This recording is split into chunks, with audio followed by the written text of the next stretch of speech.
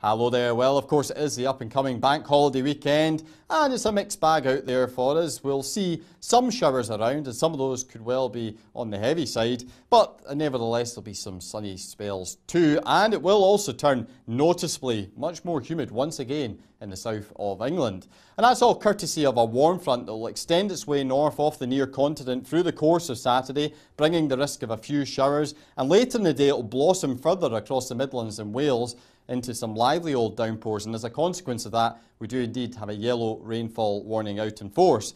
To the south of the warm front, though, it will eventually start to brighten up across the south and southeast of England, and with that, increasing humidity levels, and we could go as high as the mid 20s in towards the southeast. To the north of the warm front, though, we're still in the fresher air here. We'll see variable amounts of cloud and some sunny spells.